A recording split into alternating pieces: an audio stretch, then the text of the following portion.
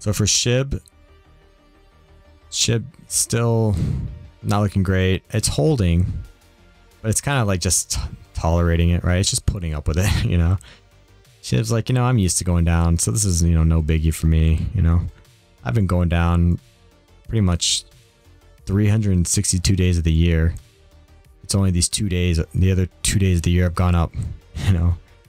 But it's like, when it's time to go down, people consult this coin and they're like, this coin's like, hey, let me show you how to go down. I'll show you. That's what this coin's for. It's a pro at going down. It really is. So, this thing's been going down a while, so, you know, it looks like it's just kind of tolerating it right now until we drop down and lose this range again. And then we drop down to like 7.4, 7.5. Somewhere in here. I mean, it's great if you're really passionate about this project and you really believe in it, but, you know, the charts don't lie. They really don't. And we can see why we go down to which areas. You remember, the hyper pumpers become hyper dumpers. They always come back down to their normal price range.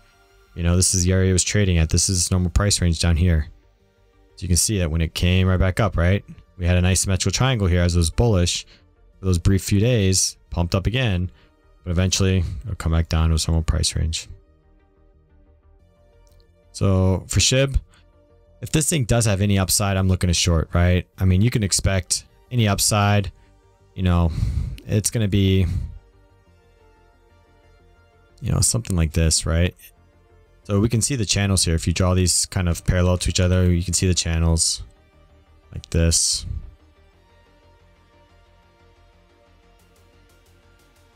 Right.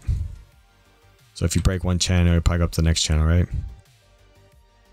Something like this, right? Pretty straightforward.